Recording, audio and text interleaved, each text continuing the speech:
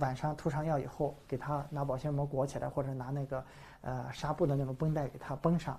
这样呢，第一，你裹上以后呢，它药物吸收的好，治疗效果就好。第二个呢，就是你裹上以后，它不就挠不着了吗？挠不着，它不就好得快了吗？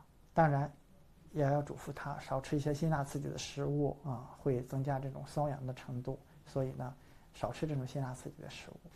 那有的病人说，我就是痒，你不让我挠怎么办？第一个呢，就是咱们涂上药给它包起来，它挠不着；第二个呢，就是痒的时候可以拿冰的东西做冷敷，这种冷敷就有镇静和止痒的作用。还有一个就是，如果实在痒的不行，拍一拍，拍不会把皮肤给打厚了的，但是你要挠，皮肤就会变厚。所以呢，呃，包起来，冷敷，拍一拍，总之不许挠。